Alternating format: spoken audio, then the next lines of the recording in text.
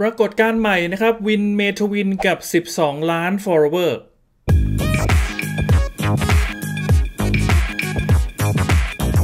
ถือเป็นนักแสดงหนุ่มสุดฮอตและปังมาก ๆ นะสำหรับนักแสดงหนุ่มวินเมธวินโอภาสเอี่ยมขจรนะครับ ที่ไม่ว่าจะทำอะไรก็เป็นกระแสอยู่ตลอดเวลานะฮะ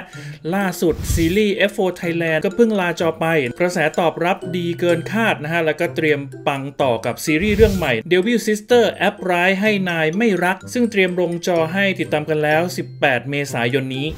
และจากความปังของน้องวินในตอนนี้นะครับ ก็ทำให้เจ้าตัวมีแฟนคลับติดตามใน Instagram ทะลุ 12 ล้าน follower ไปเป็นที่เรียบร้อย เรียกว่าฮอตเกินต้านเลยจริงๆนะฮะ และด้านแฟนคลับเองก็ร่วมกันทวีตพร้อมติด hashtag win 12 million love จนติดเทรนด์ไปก่อนหน้านี้ โดยเจ้าตัวก็ได้ออกมาทวีตขอบคุณทุกๆกำลังใจที่ติดตามและคอย support ว่า I wouldn't have made this far without you guys thank you so much hashtag win 12 million love นะครับซึ่งก็แปลประมาณว่าฉันคงไม่ได้ไปไกลขนาดนี้นะฮะถ้าไม่มีพวกคุณขอบคุณมากครับนะครับและทางทีมข่าว P News ก็ต้องขอแสดงความยินดีกับน้องวินอีกครั้งกับ 12 ล้าน follower นะฮะขอขอบคุณข้อมูลดีๆ จาก daradaily.com และขอขอบคุณทุกท่านที่ติดตามนะครับฝากกดไลค์กดแชร์กด subscribe เพื่อเป็นกำลังใจกันด้วยนะครับแล้วเจอกันใหม่ในคลิปหน้าสำหรับวันนี้ สวัสดีครับ